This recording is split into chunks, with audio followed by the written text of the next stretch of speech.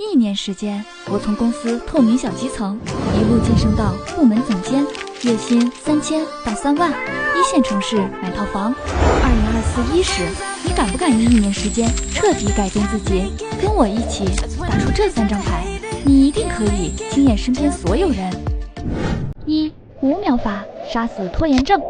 过去的我做任何事前总是下意识想拖延，这些自我妥协的欺骗话语。侵蚀着我的大脑，让我一事无成。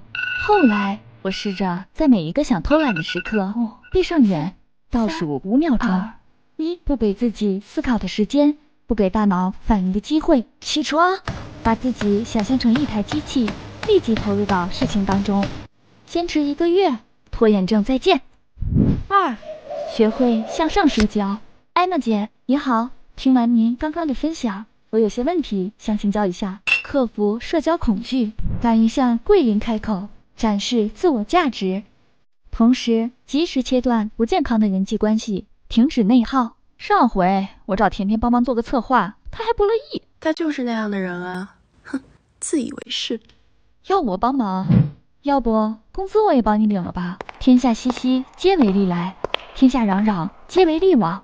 生活当中有三两个知心好友，足矣。三。永远不要害怕出错。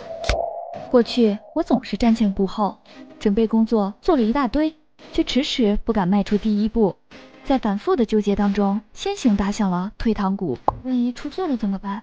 不会被别人嘲笑吧？可不试一试，又怎么知道自己行不行呢？也许我的方案更好呢。后来我试着主动抓住新的挑战，这是我的方案。我认为人无完人，我们不必苛求自己。凡事都完美不出错。好，我现在回去修改。要知道，失败的经验正是为下一次挑战赢得加分的筹码。